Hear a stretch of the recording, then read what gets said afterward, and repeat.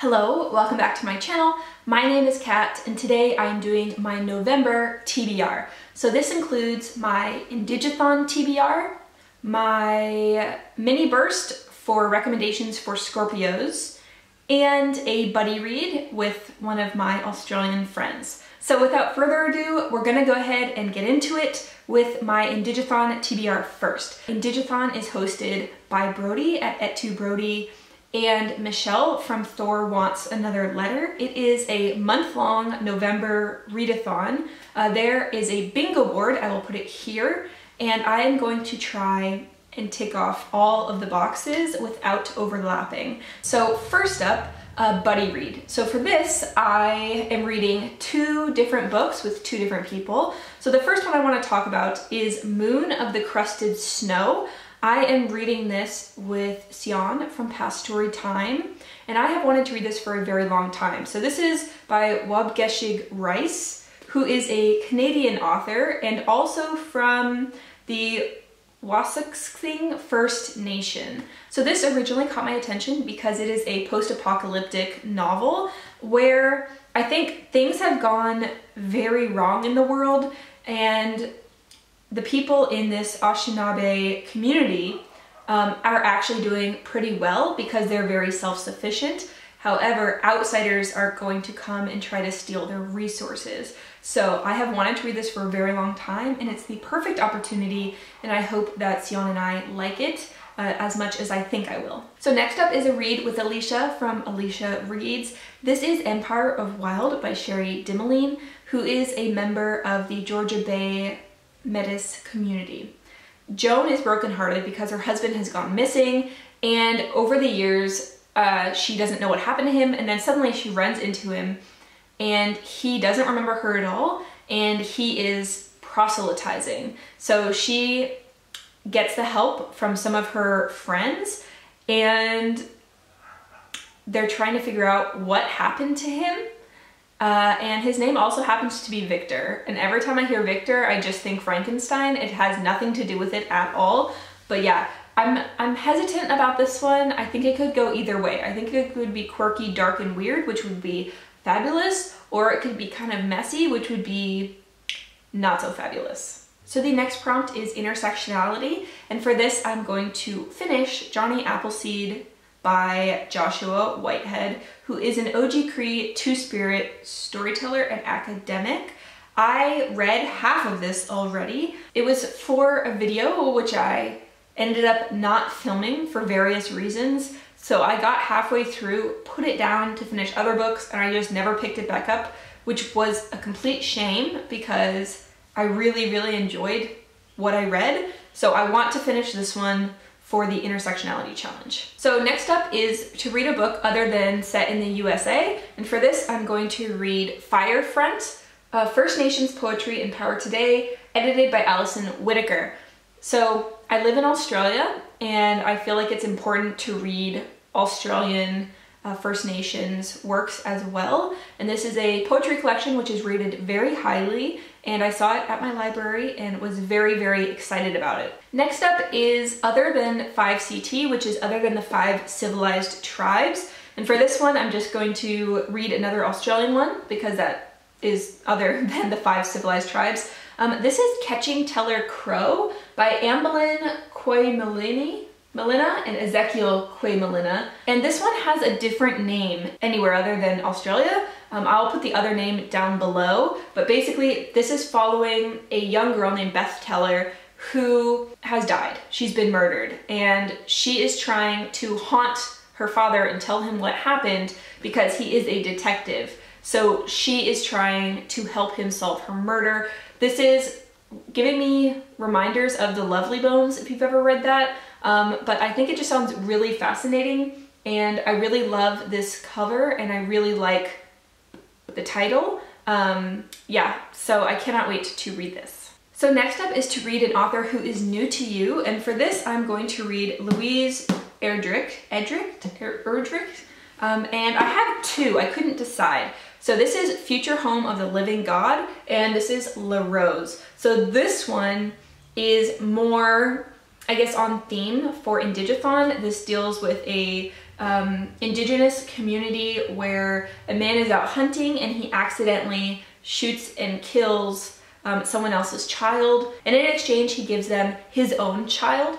Um, however, I might be a little burned out on the hunting accidents because um, I'm currently um, reading The Only Good Indians, so I'm not sure. And this one, I have had my eye on for a very, very long time. And this one is about a dystopian future where humans stop evolving. And in fact, the children that are born are actually devolving. Um, and that's a problem because our main character is four months pregnant. Pregnant. So over the two of them, this is the one that I really, really, really want to read. However, I'm just confused because on Goodreads it has like a 3-5 and this has, I think, around a 4. So I'm confused. I'll probably read this one, but if I read it and I'm not liking it, I'll read this one. And the next prompt is to read a middle grade. So actually, I don't read middle grade. I've only read one this year, I think. But when I was searching the library, um, they have Race to the Sun, which is a middle grade written by Rebecca Roanhorse, who I love. So all I know is that this is following a seventh grader who can see monsters and then her father goes missing and leaves behind a note that says run. Um, I don't know more than that, but I trust Rebecca Roanhorse and I'm very excited to read this. And the last bookish challenge is to read the group book, which is Heartbeat Braves by Pamela Sanderson. And all I know is that it is a contemporary romance. I also appreciate that the Kindle is quite cheap for this. I think it's just a few dollars. So I will be getting to this and I love a good romance. And the last challenge is to consume some non-bookish media um, about indigenous peoples. So I have two that I'm planning to do and they're both on Netflix. I apologize if you don't have Netflix, but um, that's what we have, so that's what I'm going to probably be doing. Um, the first one is called When Two Worlds Collide and is, it is a documentary that takes a hard look at how indigenous peoples clashed violently with the Peruvian government over land and economics in the Amazon.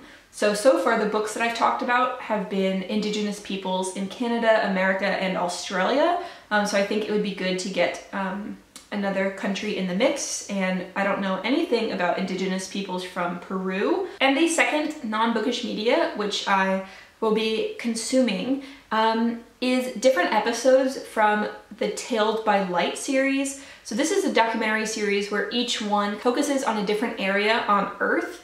Um, it's kind of similar to Planet Earth, if you know that series. So in season one, there is a episode called Tribes, and it says Art Wolfe documents the world's cultures, including the Surma of Ethiopia and the masked mudmen and the Huli clans of Papua New Guinea as well as the last two episodes of season three, which are called Preserving Indigenous Culture Part 1 and Part 2, um, follow Aboriginal people in Australia. So it says Dylan River continues a family tradition of filmmaking focused on the Aboriginal people of his native Australia with a tour of ancient rock art sites.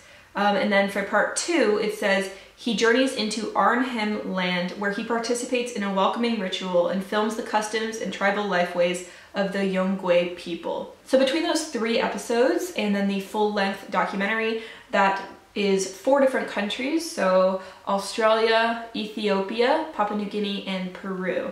Um, so I think that is a good range. The rest of the things on my TBR are not anything to do with Indigathon. They're kind of on the side. Um, one is The Constant Rabbit, uh, which is a buddy read that I'm gonna read with a friend of mine in Australia who runs the Bookstagram Literary Supper, which is so cool. She makes meals that she finds in books and her cooking is amazing. So this follows uh, an anthropomorphic rabbit population in the UK. And it's talking a lot about class issues, but through giant people like rabbits. So I think it should be very interesting to read. It sounds a little weird, which is exactly what piqued my interest, of course. And the last three books on this list are all ones that I'm going to read for a mini burst of recommendations for Scorpios. So if you don't know, my birthday is November 11th, so it's 11-11, and yes, I'm a Scorpio. and I did some research and I watched a bunch of videos and one of the ones that was most recommended was American Psycho by Bret Easton Ellis. I will be buddy reading this with Tal. Again, I will leave her bookstagram down below. This one I don't think I need to explain. It's a classic. I've only seen the movie. Um, I haven't heard anything about the book or how it stacks up, so I'm very excited to get to this. Um, another recommendation was Gone Girl. This was the one that was most recommended over everything. I've seen the film, but it was a while ago, so I feel like it's been enough time that I won't see all of the twists coming. And the last one is The Scorpio Races by Maggie Stiefvater. I've actually never read a Maggie Stiefvater, and I don't know anything about this other than that people race horses through the tide, through the water.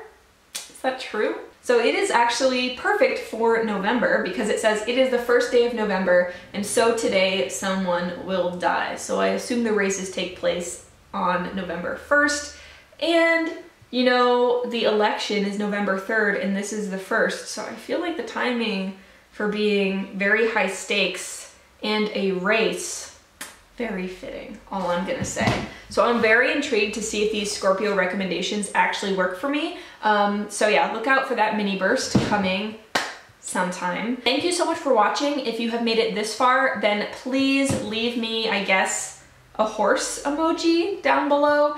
I'm not a huge horse person. I'm actually allergic to hay, which makes it really hard to be near horses but um, you know, this book demands it. So um, please leave that emoji and I will send you lots of love down below. Also, please, please, please let me know what you are reading for Indigathon, or if you have other Scorpio recommendations, I would love to hear them.